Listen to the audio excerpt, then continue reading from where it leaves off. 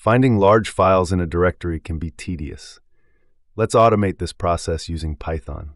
We will build a tool to scan directories and list files over a certain size. We start by importing the OS module, which allows us to interact with the operating system.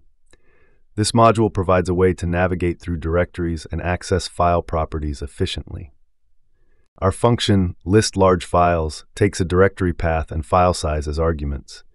It initializes an empty list to store paths of large files, facilitating efficient data storage in memory. The os.walk function traverses the directory tree. For each file encountered, we check its size.